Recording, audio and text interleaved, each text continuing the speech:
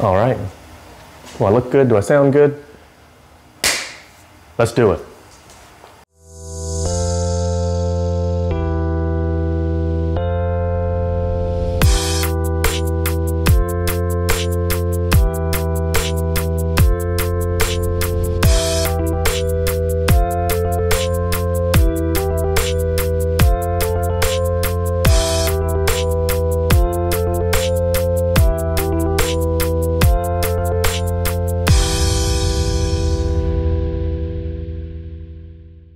What's up everybody? Jus' Brewing here, and as you can tell, we've moved into the garage. The home brewery now has a little bit more space, as well as some new equipment.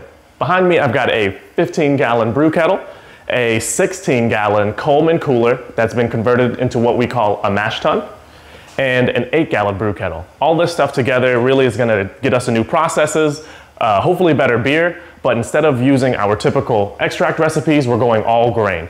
Um, you may have heard about this if you've done a little bit of research, but really what I'm doing is this process is going to be very close to what the pros do. So your local breweries, um, if you happen to get a chance to see any of their equipment, this is a very, very, very small scale version of that. Again, the most that I can do with this is 10 gallons. Right now I'm sticking with five, but I did want to future proof myself in case I did go all in and do want, want to do a 10 gallon batch. I now have the equipment for it. Right now, I've got four gallons of 165 degree water in our mash tun. That water is what we call our strike water. To make a long story short, that water is what's going to be used to mix with our grains. At that temperature, the enzymes in the grains are going to get converted into sugars. Those sugars are going to get eaten up by the yeast, and that's what produces alcohol. So this is arguably one of the more important parts of the process, and we're just getting started. For today's all grain brew day, we're going to be brewing SoCo Homebrews Warm Winter Ale. It's going to be a nice, full-bodied, kind of cinnamony, gingery, sweet, seasonal beer. It should come out perfect timing for hopefully what will be a cold front or colder weather here in Texas.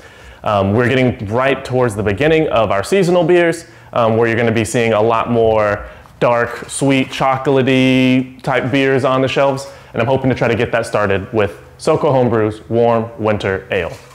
The grain bill, the recipe, consists of 11 pounds of Golden Promise as the base malt, 12 ounces of Crystal 80L malt, 8 ounces of biscuit malt, 8 ounces of crystal wheat, and 5 ounces of chocolate malt. All of this should come together to make a kind of sweet, kind of bitter, cinnamony, gingery beer. Um, I'm gonna be adding six of cinnamon as well as ginger root and some juniper berries to this. So it's gonna be seasonal, it's gonna be very Christmassy and we're, I wanted to go ahead and get the Christmas season started a little bit early with the warm winter ale.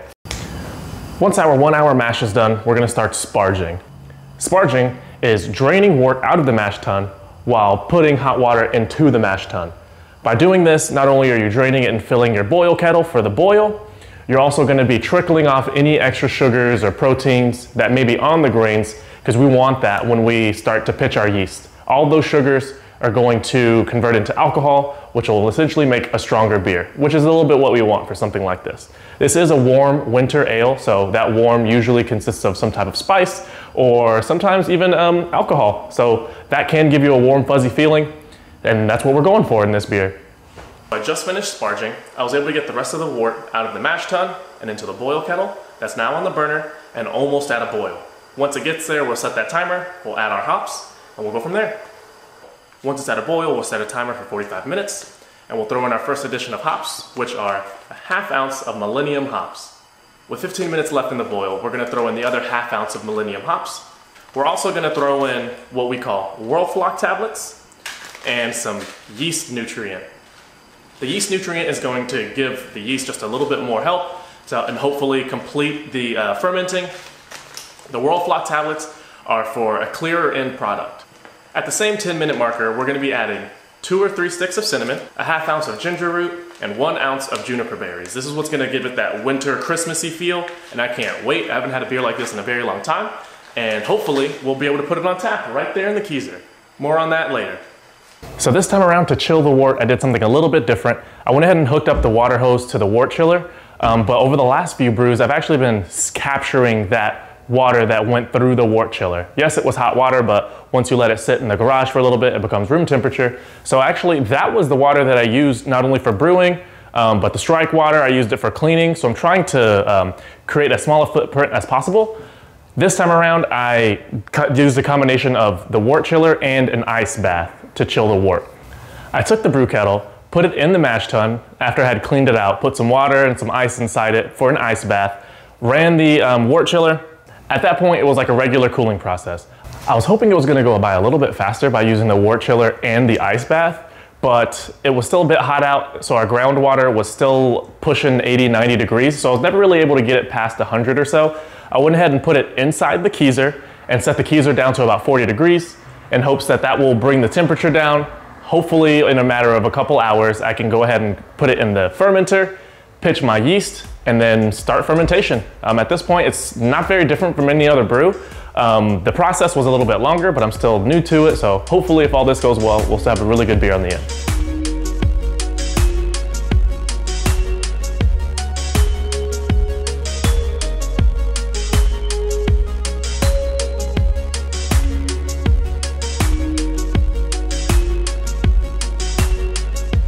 So here we are, two weeks later. I have with me the ever amazing Alicia Tudor to do the tasting and first impressions with me. Um, the warm winter ale sat in the fermenter for about two weeks. Um, I cold crashed it for about two days after that, and then carbonated it for about two days. So here we are, um, 18 days later, with uh, our first impressions of the warm winter. It's definitely not as dark as I thought it was going to be. I thought it was going to be more porter stout-y colored. I had a feeling it was going to be kind of a brown ale-ish color just based on some of the malt. Um, mm a lot of the malts that were in it were very light colored. Um, I did show the grains earlier, um, and the only dark one was the chocolate malt, and it was. Oh, this uh, is when you separated, right? Yeah, yeah, yeah, yeah, yeah, yeah, It was really nice. It was really cool, like seeing all the all those colors together.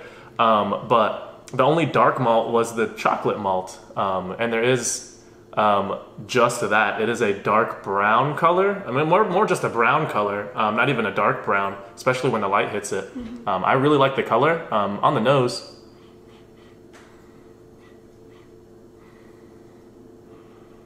Yep, it definitely smells like uh, ginger, right? On the nose.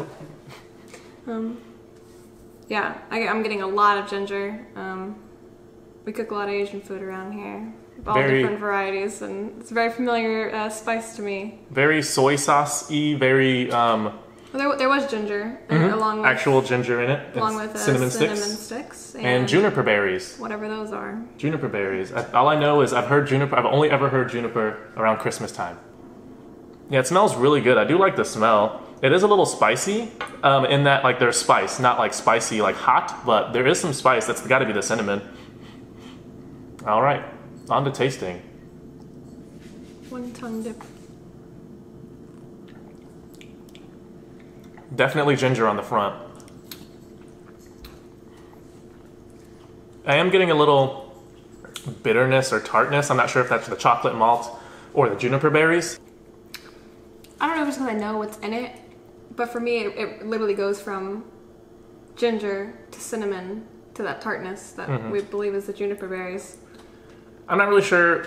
Yeah, I haven't gotten a chance to taste to these malts individually, mm. um, so I can't say like what the malt brings to it other than like the body because there is it does coat your tongue just a little bit. Um, even just one sip you taste it all over. Mm-hmm. um, it's a little like heavy at first if that makes sense. Um, but it's really light. Yeah it's it's it's pretty thin all things considered. Um, but it does have a um, I won't I won't call it a texture to it but you can feel the beer. Does that make sense so this might be a a fun one to put on nitro in the future too, which I really see. Yeah, bring that extra lightness. I the first thing I noticed as the bubbles were coming up um, was that this would have looked really good and tasted really good um, on nitro. You get that creamy um, mouth feel out of the the nitrogen in it. Um, on the on the ABV, um, the original gravity I hit spot on, which is I've only ever done maybe two two or so times.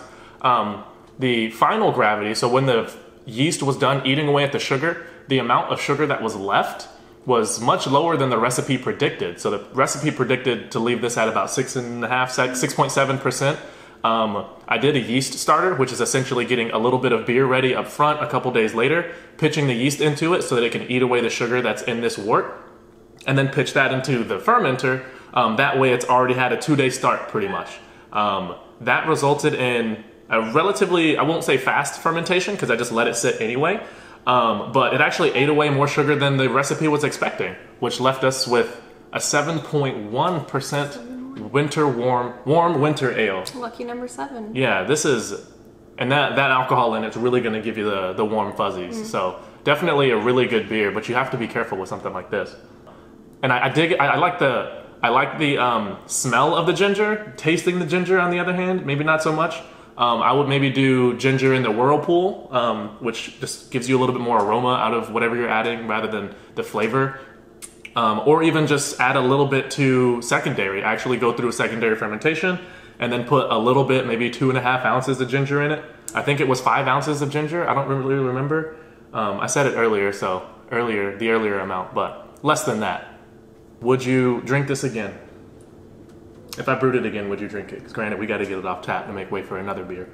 Um, it's not exactly my cup of tea, one might say, but if we were to make those adjustments, I mean, I wouldn't be opposed to trying it again for sure. I do think this beer would be a hit at a party, though. A Christmas party. Well, anything we do is going to be a hit at the party. That's so. true. I like it. Six out of ten. Six. Six and a half. Six and a half. I like IPAs.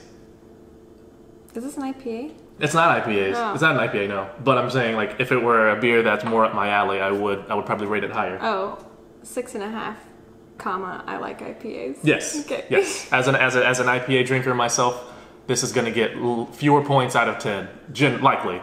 If it were amazing, then of course it would have been up there in the eight, nine, even potentially higher. Um, but Ravioli thinks so too. he agrees. Seven out of ten. Yeah. Seven point one out of ten. Oh, nice, Yeah. nice, very nice callback. That'll do it for this one. Don't forget to like and subscribe. Don't forget to visit jusbrewing.com where I've published my brew schedule. So you should be able to take a look at the day that I'm brewing. Um, and if you have any questions, you can definitely leave them in the comment section. If you want to support the channel and your fellow humans, visit jusbrewing.com slash merch, where all merch proceeds are going to be donated to charity. But we hope to see you for the next brew. Thanks for viewing. Jus' Brewing. Fucking perfect. We nailed it. We're getting better. Chug. Chug, chug, chug. It's literally a shot. Mm-hmm. Super good tea. Let's do it.